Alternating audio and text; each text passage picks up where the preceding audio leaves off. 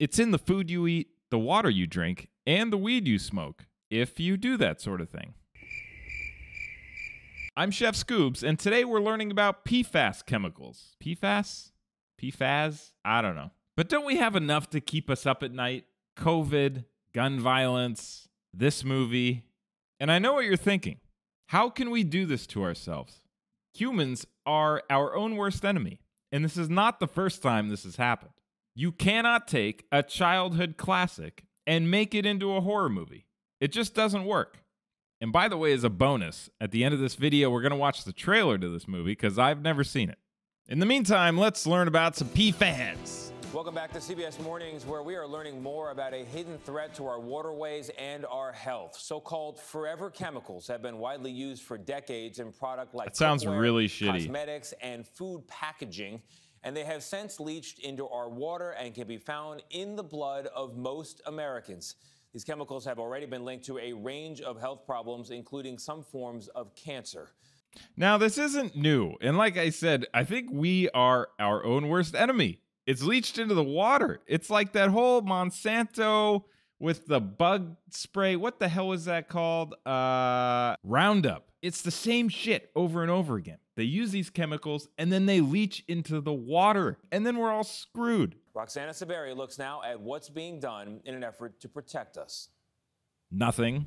On a hilltop in Maine, Songbird Farm sits silently. A shell of what it was and could have been.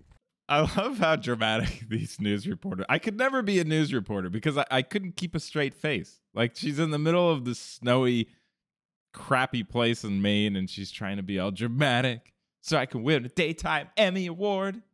All right, Welcome anyways, I'm being a little to the critical. ghost town of our dreams. Look, this guy's got a one of those teeny weeny beanies. You guys seen that Jimmy Fallon, uh, Paul Rudd thing? On the street, I want a hat right now that can bring me the heat. It's a teeny weeny beanie. It's a teeny weeny beanie. It don't cover your ears, cause you still need to hears. It's a teeny weeny beanie. That's this guy. Look at this guy. Hey, do I look like this guy? You know, now that I think about it, do you ever look at someone and you think they look like you? Like it's it's hard to tell when you look at someone if they look like you or not, because it's just a weird feeling. Hang on. I'm gonna I'm gonna prove this to you. Hang on.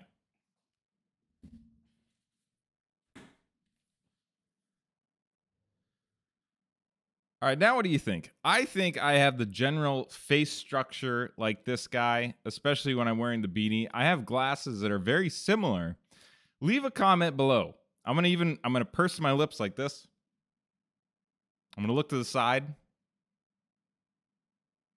Leave a comment below. You let me know if I look like this guy. Anyways, where were we? Adam Nordell and his wife Johanna bought the 44 acres in 2014 to raise organic produce and a family. now, not to stereotype, and these people are great. I'm sure they're a wonderful family and they have great intentions. But if I was starting an organic farm, organic, if I was starting an organic farm, I think that this is like the poster family for starting an organic farm. I just think they look like organic farmers. Family. Seven years later, they learned their land was riddled with toxic chemicals called PFAS. Nice. Did you know what PFAS were? No, no, no, no. I didn't know what, what, what PFAS chemicals were. He soon found out. They're a family of thousands of compounds that last so long in the environment, they're known as forever chemicals. Oh, that's wonderful. So it leaches into the ground, it gets into the water sources, and then it sits there for God knows how long. So, how many generations has this been going on? Like, are we totally screwed? For decades, they've been widely used to put the non-stick in cookware and to make stain and waterproof like fabrics, firefighting foam, food packaging, even cosmetics. The toxins at Songbird Farm were traced to sludge, the solids left after wastewater is treated, spread there as fertilizer in the 1990s. this whole idea of fertilizer, they thought they were doing a good thing. It's wastewater. They're like, you know what? We're going to recycle the wastewater. It's got some nutrients in it. We're going to spread it all over the place, all over these crops, and it's going to help our shit grow. Literally, it's going to help it grow and people are going to be more healthy because of organic food. And now look, good intentions gone way wrong. It contained a whole host of industrial chemicals um, that were washing out of consumer products in people's homes or that were entering the wastewater treatment district from industrial facilities. Adam says tests found their water and some crops had dangerously high levels. So did his family's blood. Oh He God. It was 250 times higher than average. Oh my God. What, 250 times higher?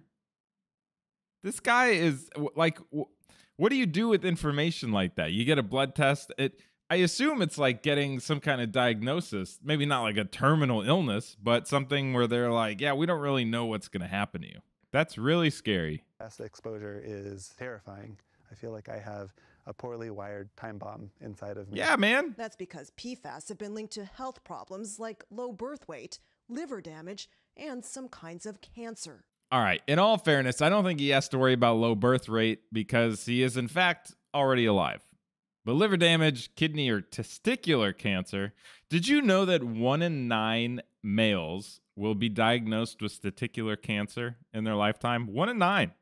While Maine is leading the way in identifying farmland contaminated with PFAS, a recent study estimates that sludge, like what was applied here, has also been spread on around 5% of all farmland in this country. What?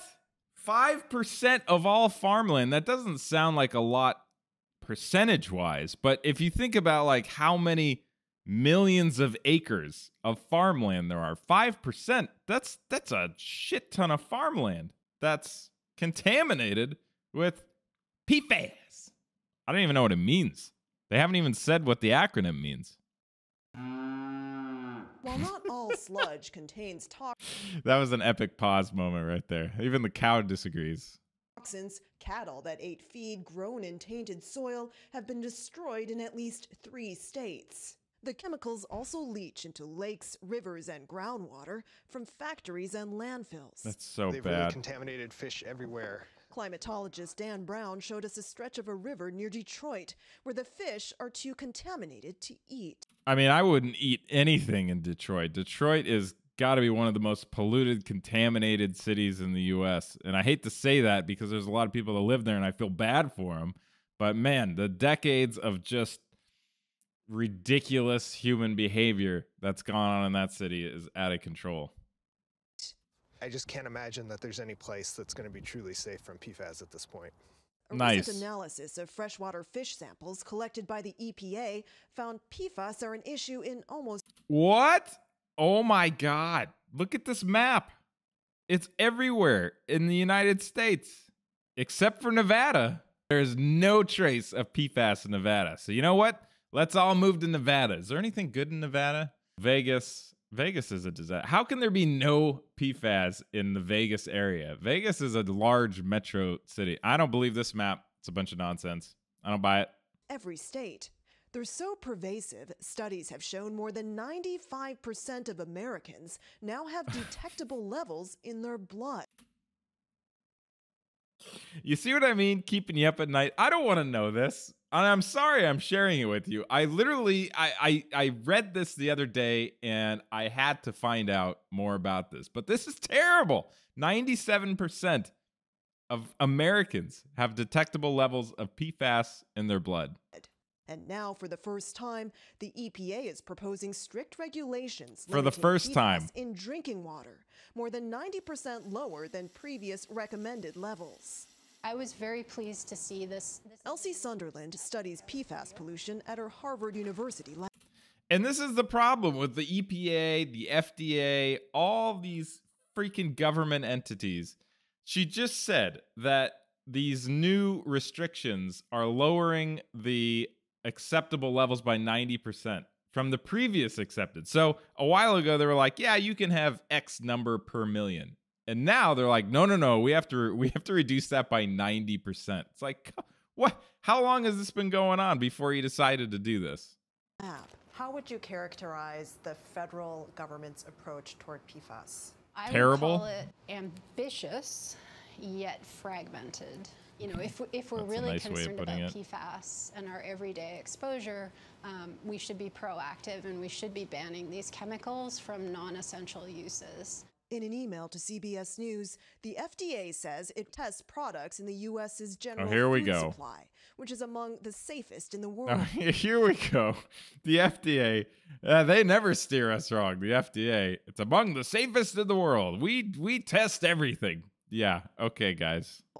The agency says very few of those products have detectable levels of PFAS, Uh-huh. and those that do are low. Well, I don't know about you, but I'm hungry, so I'm gonna go eat some food. Hopefully, not contaminated with PFAS. But before I do, I promised you we'd watch the trailer of this Winnie the Pooh horror movie. So here we go. You know, you're the first person I ever shown this place to. And why am I so special? Because soon we'll be Christopher and Mary Robin. You should be close now. It's Christopher We're Robin. not going to find them. We will. Pooh, Piglet, Eeyore, we were friends for many years. And they're Oh, out that doesn't look good. Christopher, Oh, they killed Eeyore. now. Eeyore fucking died. what's happening? Oh shit, Christopher, you messed up bad, bro. Oh, they're coming for you.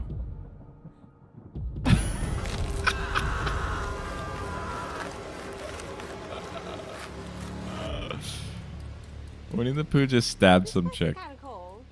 And did you say it has a pool? We need to go. There's. Laura's dead. There's someone else. Pooh Bear's pissed. They stole all his honey. What was that?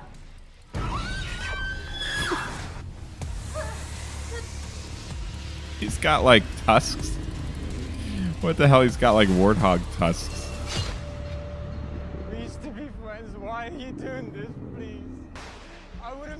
Left, it's too late, Christopher. Pooh Bear just wanted to play and you left him. Why? It's already been rated one of the worst movies of 2023. I will not see this movie. Thanks for watching. I hope y'all enjoyed this video. Don't forget to hit that subscribe button and we'll see you soon. Okay, bye.